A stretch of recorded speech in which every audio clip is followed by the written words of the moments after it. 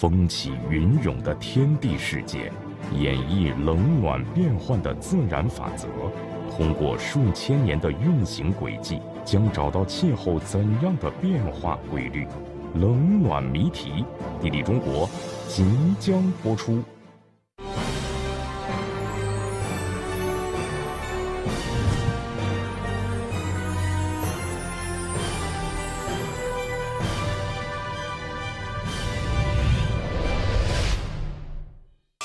各位好，欢迎收看我们今天的《地理中国》节目，我是盛春。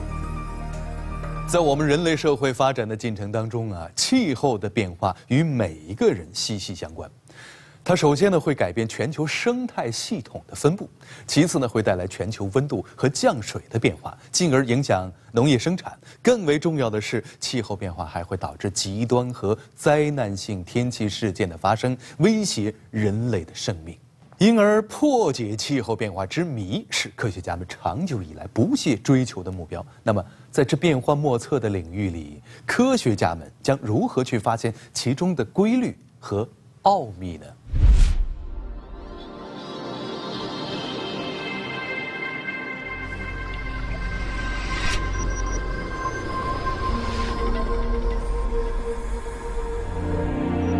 在云涌飞的自然世界里，气候大师用他自身的平衡法则，引领着世间万物生生不息。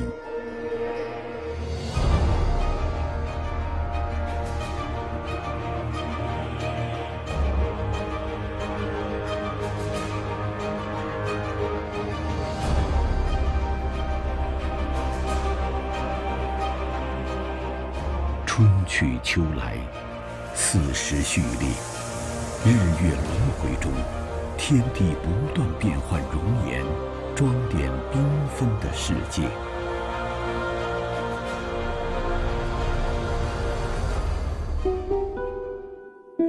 然而，月有阴晴圆缺，天有不测风云。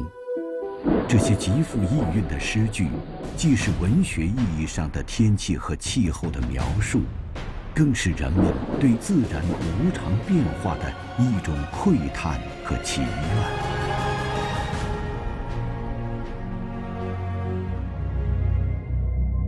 通俗的讲，天气是短期反应，是大气层中每时每刻的风云变幻，而气候。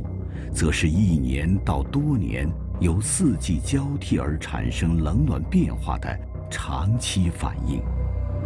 自从人类诞生以来，总会面对泛滥的洪水、大面积的沙暴，以及罕见冰冻等各种极端天气。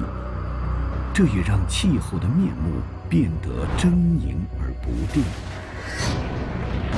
气候犹如一柄。达摩克里斯之剑高悬在人类头顶之上，人们一直试图找寻破解它演变规律的那把钥匙。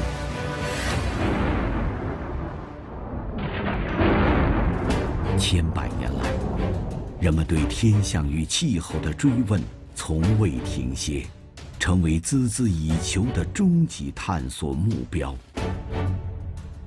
那么？高高在上的老天，真的有那么深不可测吗？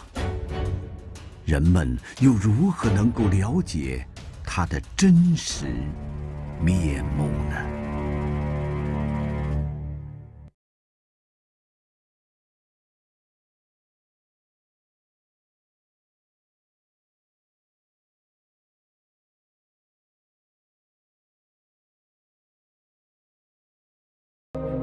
上个世纪以来，这座雪山一直是欧洲气象研究的前沿之地。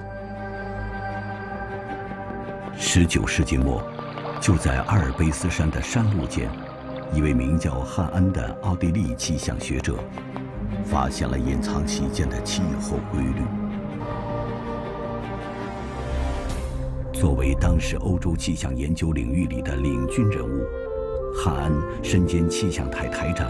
气象学教授等多个职务，身份上的优势让他有足够的条件对所在地区进行气象观测研究。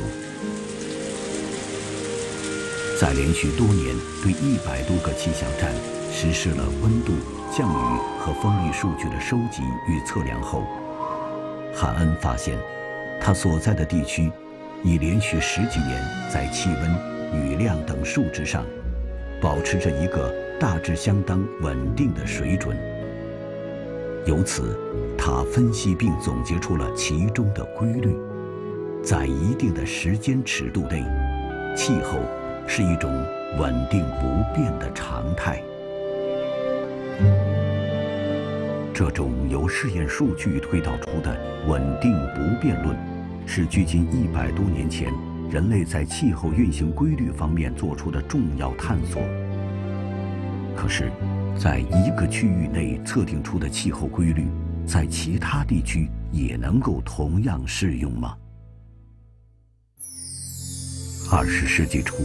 气象研究在西方出现了新进展，因为美国人开始用物候现象研究气候变化。所谓物候，指的是自然界里鸟鸣虫飞、草木荣枯等日常现象，它是动植物生长发育以及活动规律对节后的反应。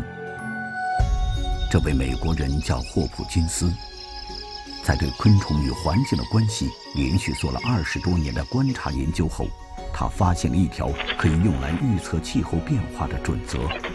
在气候学界，这一准则被命名为霍氏生物物候定律。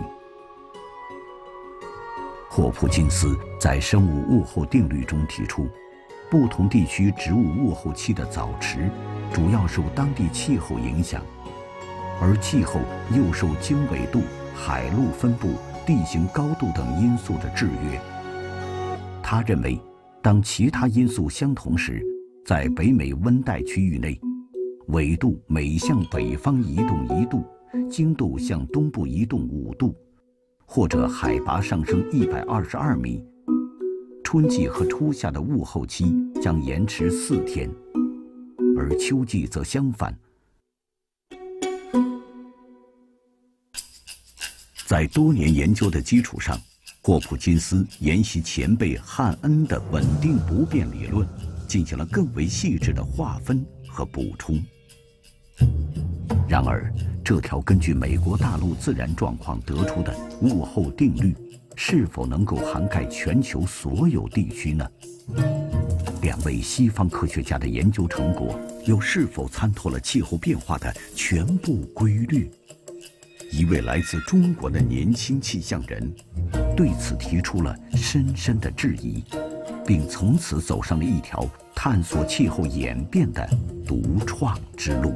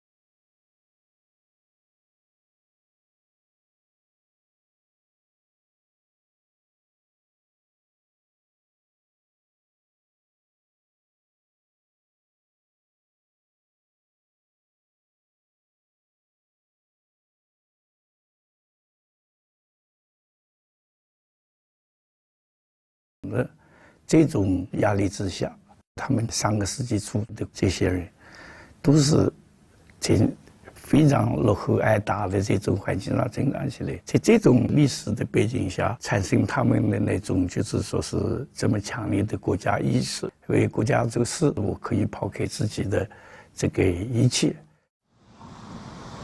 正是在中国北极阁，竺可桢带领着一批气象名家。建起了中国近代气象史的第一个研究所，完成了我国气象事业的奠基。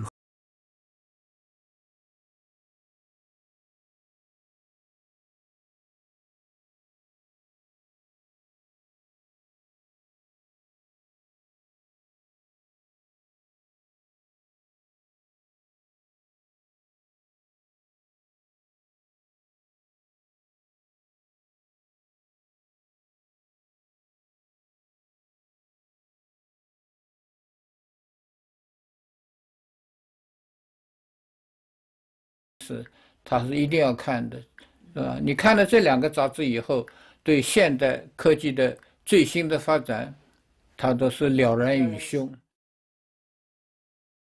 很快，奥地利气象学家汉恩的《气候稳定不变论》，以及美国学者霍普金斯的生物物候定律，出现在竺可桢的视野里。此时，已在国内建立起多家气象台站。并深谙国情地貌的他，对此开始有了深深的怀疑。在竺可桢看来，相比于西方特征分明的海洋地理环境而言，中国三面环山、一面滨海的半封闭型大陆环境，使得这片适宜农耕的土地气候更为诡谲多变。而这，绝非一两条气候定律。能够全部涵盖。那么，中国这片大陆的气候演变规律究竟是什么？竺可桢又将通过怎样的方式去发现它呢？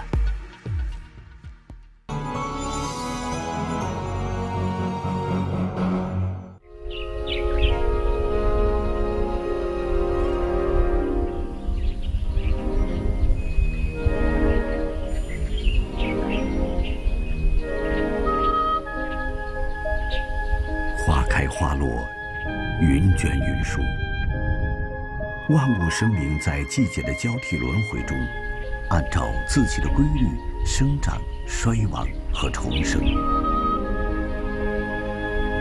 正是这些循环往复的自然现象，让研究气象的竺可桢敏锐地捕捉到寻找气候规律的一丝线索。而对家乡的一段特殊记忆，让他清晰地意识到气候变化的地域差异性。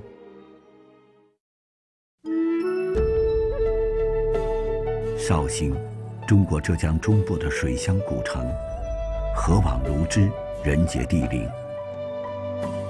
广阔而富饶的宁绍平原，不仅孕育了竹家祖辈，也将优美温润的自然气候环境深嵌进竺可桢的脑海里。让他尤其难以忘怀的是那片青翠如画的竹林。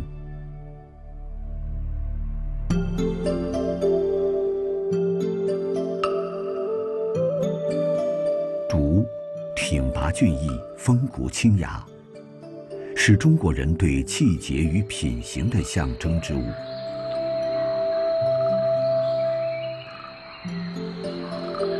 在竺可桢的记忆里，江南一带竹笋的生长受当地亚热带季风气候影响十分明显。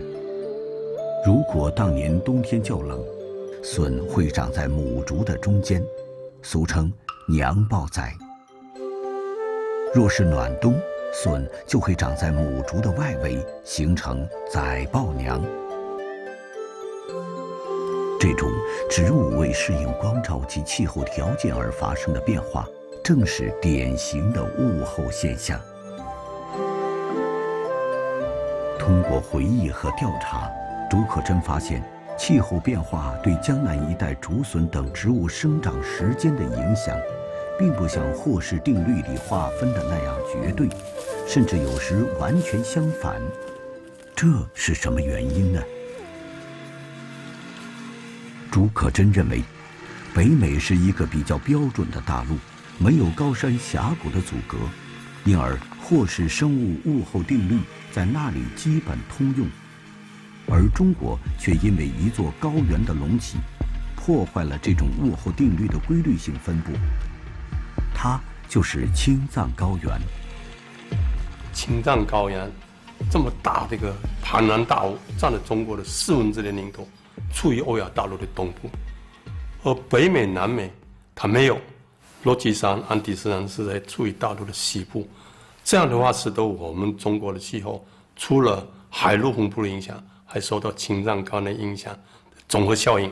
因此呢，在夏季季风过程要复杂的多。对于中国这一农业大国来说，季风气候带来的影响不言而喻。这让竺可桢渐渐察觉到，找寻属于这片大陆的气候变化规律是何等迫切。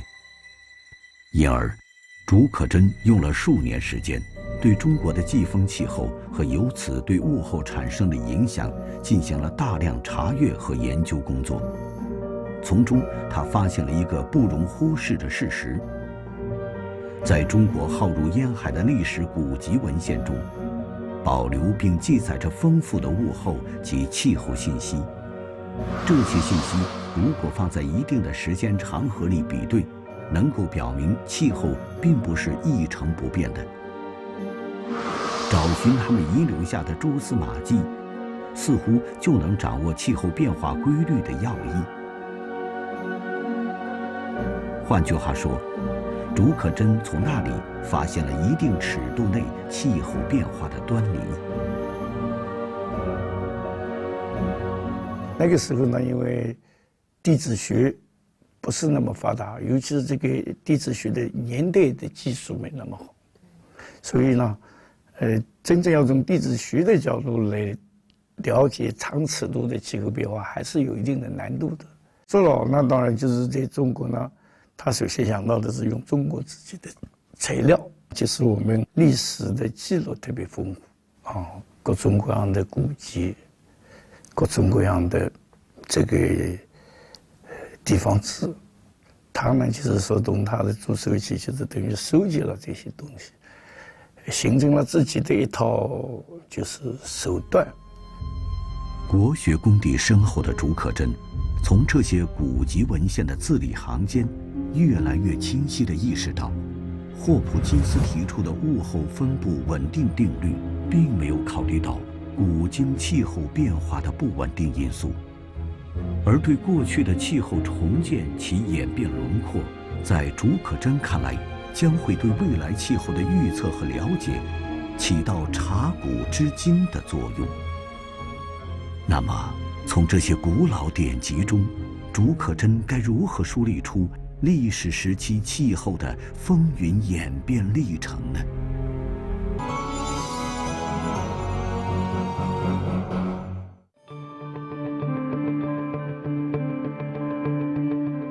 这里是位于杭州市西湖区的浙江图书馆。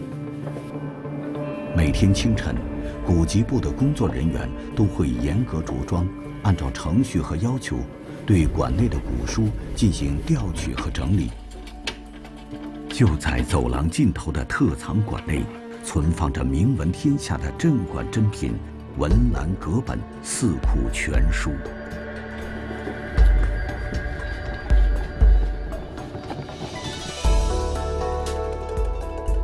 作为中国历史上规模宏大的丛书，《四库全书》凝聚了古人的智慧与劳作，历时近二十年编纂、抄校完成。由于汇集了由先秦到清代时期的历代主要典籍，因此被誉为中国文化的万里长城。《四库全书》分为经、史、子、集四部，内容涵盖了古代图书的大部分类别。与这些古书几经修复的发黄外表一样。文澜阁的四库全书也同样经历了颠沛流离的多舛命运。在战火纷飞的年代里，由气象转为教育领域的竺可桢，时任浙江大学校长。当他带领全校师生走上文军西征之漫漫长路时，谁也不会想到，这些流传了数百年的古书。竟在躲避战火、寻求转移的过程中，和他结下了不解的缘分。朱校长呢，他觉得这个虽然浙江大学的负担够重的了，但是他这么重要的一件事情呢，他还是一口就答应下来了。那么这样的话，就整个四库全书就可以说在浙江大学师生的呵护之下，跋山涉水，最后呢安置在贵州的地母洞，也避免了日晒雨淋。竺可桢参透中国气候变化的发现之旅，正是从《四库全书》的《吕氏春秋》一书开始的。书中记述了人们熟知的一种动物亚洲象，商人服象为虐于东夷。《吕氏春秋》的这段记载，说明在距今三千多年前的商朝，大象的身影遍及中原一带。结合史料中的记录，竺可桢复原了亚洲象受气候因素变化不断南迁的足迹。在气候温暖湿润的五千多年前，大象曾生活在黄河以北的燕山脚下。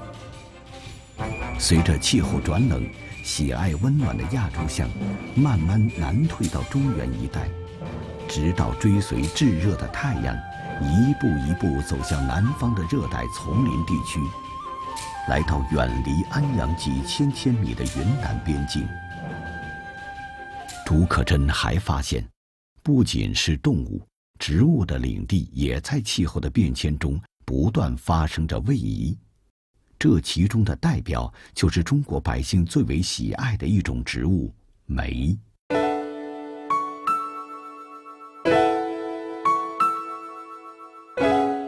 在竺可桢熟读的诗歌总集《诗经》中，一首《秦风·终南》的诗歌写道：“终南何有？”有条有梅。书中明确指出，梅在很久以前曾经生长在西安南部的终南山附近。然而，随着气候的不断变迁，梅已经逐渐退出了北方大地的舞台，其身影只在长江以南地区才能找寻得到。《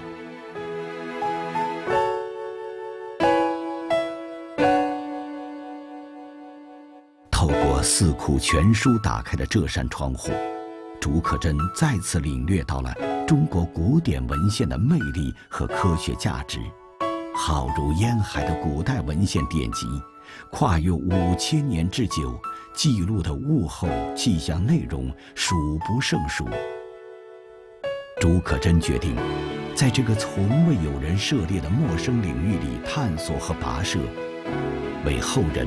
勾画出大尺度的中国历史气候演变图景。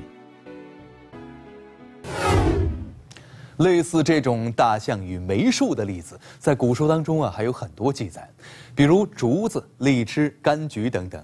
即便时至今日，有些动植物呢还在因气候的变化改变着自己的生存地和栖息地。